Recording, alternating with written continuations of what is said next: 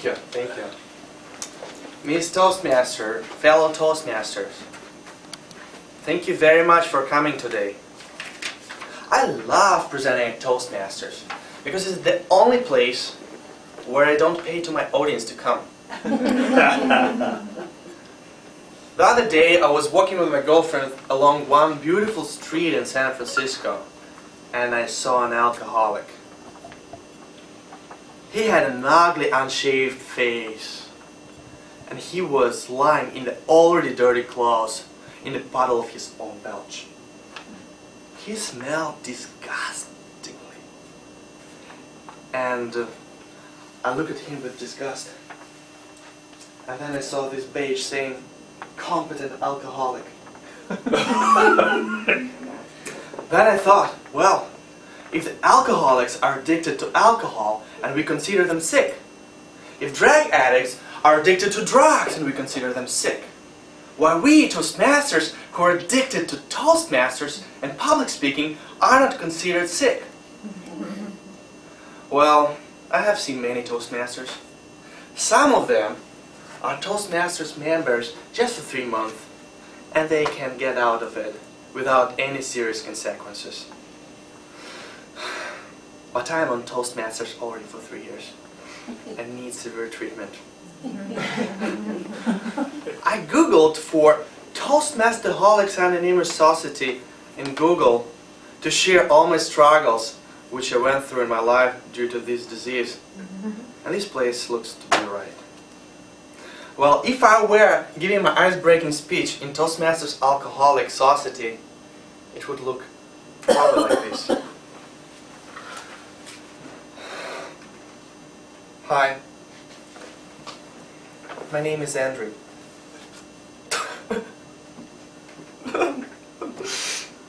and I'm a Toastmaster. it all started when I was five. Sorry, memories.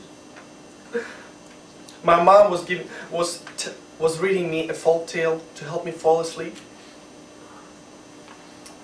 And I told her, Mom, if you want to be more effective, you need to use more personal stories and self-deprecating humor. the other day, I was a Toastmaster at my birthday. And I asked if my mom and brother want to volunteer to fill the roles of general evaluator and the guest greeter. then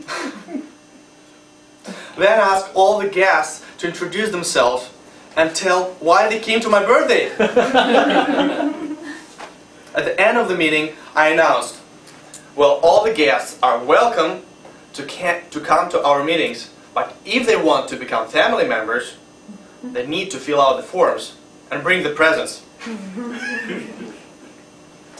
then I grew up and I entered the university. Before the first year started, I sent emails to all the professors asking, what are their subject titles? And if they need a member, a mentor, to mentor them with their first three lectures. a year ago, my brother invited me to his wedding and I was supposed to give a toast. I was excited and I asked him to be my evaluator. then I asked all the guests to vote for the best speaker. and I won. That's sort difficult to manage. My first date lasted 30 minutes and 20 seconds.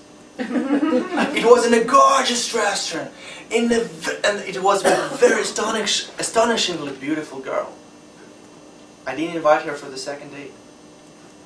You can understand that first she went dramatically overtime, and second, she refused to pay her lunch dues. Three months ago when I was in Kiev, and I met my best friend, who is also a Toastmaster, we had a bet that I will be able to come into the train car in the subway and will shake the hands of everyone on the car. And there should be at least 30 people in it. And I was a Toastmaster, so I excitedly went down the subway, took, came to the platform, looked at the people, became straight, and then I got scared. I couldn't pull a word of me. My knees shaked. My voice trembled. and I got stuck. But then I saw a light. I remembered a words of priest Bob from my LSI Logic Toastmasters charge. And he said, Brothers and sisters, I believe in you. You've got the power to be successful in public speaking. You need just to believe in a district governor. and he needs you to succeed just two things. First, connect to your audience. And second, pay your club dues in time. well, I remember that I paid my club dues in time, so there was only one thing left. So I went into the car on the subway. And Toastmaster announced my speech. He said, Ladies and gentlemen, attention. Be careful, the doors are closing, next station is. So, I breathed three times. Looked into the eyes of every single woman, man, child, and every single grandfather on the train. And then I said, Ladies and gentlemen, my name is Andrei. And here's my best friend Sergey. He comes from Moscow. And then Moscow don't believe that we here in Kiev are friendly enough and welcome for guests. So we had a bet with him that I will be able to shake a hand of everyone of you here in the train. And we had a bet for a box of beer. Please help me to prove to these Moscowers that we in Kiev are friendly enough. So man, could you shake my hand? Thank you. Could you shake my hand? Thank you very much. Then some people, some young people there and there asked me to come to us, to come to us. I shook their hand, their hand. Then I went through the whole train. I came to every single person. Every single person was smiling and I shook their hand. When I came to the end of the car, I turned and I saw so many smiling pe people looking at me. They were discussing that. They came after the after the long, difficult work day, and I believe they will remember it for a long time. And they will talk to all their family members that they saw some crazy guy on the train, but who was funny. And I remember this as one of the best days in my life, and that experience one of the most interesting ones. Let me tell you guys that I'm sick. But I don't want to be treated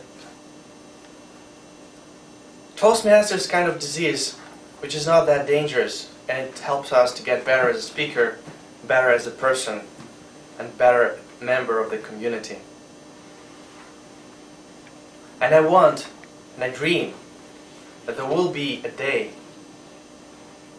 where I could write a letter to my mother, where I would write, Mom, I'm 40.